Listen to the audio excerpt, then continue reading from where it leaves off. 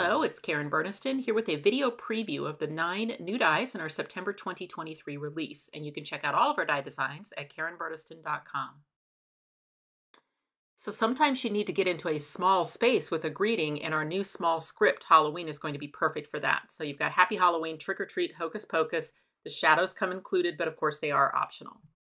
And then we have Halloween borders. Now these are five and a half inches on the length, but easily repeatable by just cutting multiples. You do get the solid pumpkins as well, so that'll carry on beyond Halloween, as well as the bones, which I really think you could use for your dog cards. We have a new Halloween themed character and accessory set called Witch and Cauldron. What's nice is that the witch can be assembled into different poses, and in addition, you get a lot of components for your witch's brew, and those can be used independently as well. So things like frog's legs and bones, eyeballs, spiders, those all come in that set. You can also use the pieces from those Halloween borders independently by just chopping them apart. So here's a great cupcake landscape accordion by Jen Webster where she has used those borders as individual elements. Okay, moving on to Christmas. There is a small script Christmas set as well. So that one has Merry Christmas, Holly, Jolly, Greetings, and Ho Ho Ho. And then there are two new sets of Christmas borders because I couldn't fit everything that I wanted to do into just one. So in the first set, Christmas Borders 1, you've got gingerbread men, peppermint candies, ornaments, and Christmas lights. And those are all five and a half inches long, but with both of these sets, you can absolutely elongate those by just cutting multiples and butting them up next to each other. Christmas Borders 2 includes stockings, candy canes, and mittens on the borders, but then also some layering pieces like snowflakes and hearts and an individual candy cane. You can see those borders and the small script used here on the front of this card. So the borders are a great way to fill in the front of your pop-up cards. And then this one includes a new pop-up, which is our stocking pop-up. It's always fun when pop-ups have motion. So this one is great because it's got the stocking itself on its own pop-up, but then there's a secondary one in the back that lifts items up and out. You can see also the small script and those borders used here. Now this is one of those sets that you're going to use year round because the mechanism in it is so generic. It's also slimline friendly. That's just a little three and a half inch square card there. You can mess around with which area has the slide out pop up. So, like in this case, I have it on the left side, popping up in the downward position. You can use other die sets on it. So, here's the Witch and Cauldron used with the mechanism from the stocking pop up. And then now my Witch's Brew comes up and out of the cauldron. Now, here's a good example of doubling the mechanism. So, Sue Small Kreider on our design team used a top fold card put two of the stocking mechanisms in there and you can see that she's got two slide out pumpkins, one at the top left, one at the bottom right, and then she used one of our pop stand dies to animate the witch and cauldron. The other thing you can really see on this one is, again, how that small script can be used in small spaces. So here's the Hocus Pocus used without the shadow, but fitting perfectly on that doubled stocking pop-up mechanism. In this next card by Sue, it's a birthday card, Seize the Day. And then she's decorated the upper pop-up with just pattern paper that lines up with her background. And then on the slide up portion of that stocking pop-up is the sea turtle die. So you can use the mechanism without the stocking, but you can also use the stocking without the mechanism. So here's a Christmas card by Sue, the stocking on the front with the jolly small script.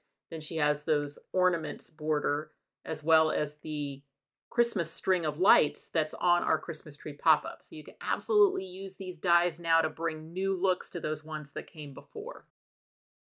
And all the new Christmas dies really work well together. You can see that in this card by Lois, Stocking Pop-Up, Christmas Borders 1, Small Script Christmas. Okay, I wish I had this one in person to show it opening and closing, but Jen Webster used the stocking pop-up to be able to animate Santa Claus coming up and out of the chimney. Jen also used the stocking mechanism to animate this cute snowman card where she's got snowflakes on acetate that pop up from behind the snowman. The other new pop-up in this release is our oven pop-up. So this one makes a very cute kitchen with an oven and some countertops next to it. But then also the oven itself opens and then you can put maybe a sheet of cookies or something in there. We already offer a Your Sweet die set, so I used that for the greeting on this card. And then on the front, I mixed in some of our baking charms from the last release. So a perfect example of how our dies all work together throughout the different releases. But in this release, there is a new Oven Extras die set. This has all sorts of items to go on the counters and in the oven, as well as all of your backsplash and upper cabinets, but then also these three little box pop-ups. So here's a card combining the oven pop-up with the oven extras, and you're going to see the extra detail that's in it from the back wall decorations with the hood and the cabinets, but then those little pop-ups used behind the mixer and the pot.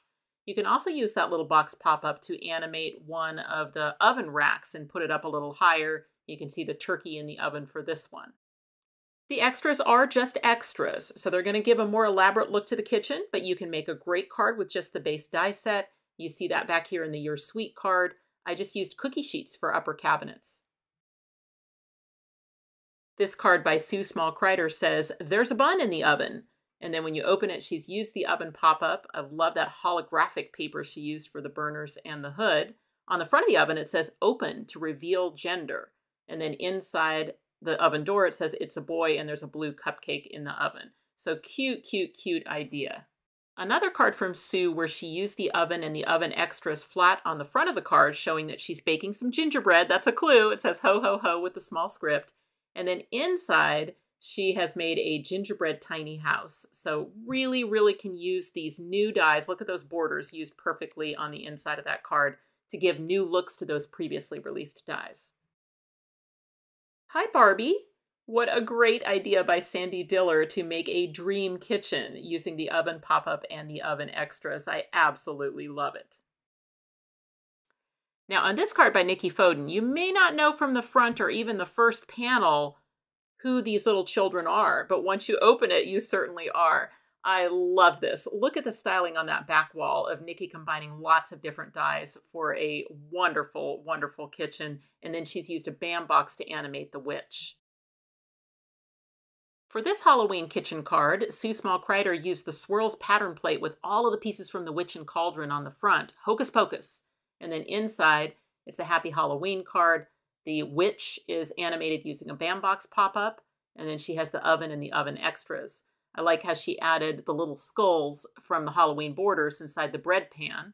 And then she has brooms on the wall, a different kind of range hood. I mean, lots of ways that you can customize the look of these kitchens and I like that she's got kind of a spooky brew in the pot on the stove as well. And then finishing out with this wow card by Frances Byrne, where she actually doubled it and has a double oven in her kitchen using the oven and the oven extras. You bake me happy. I mean, how cute is that? These nine new dies will be available on our website, KarenBurniston.com, starting September 18th, 2023. Stores are able to order immediately, and we do ship to the stores first.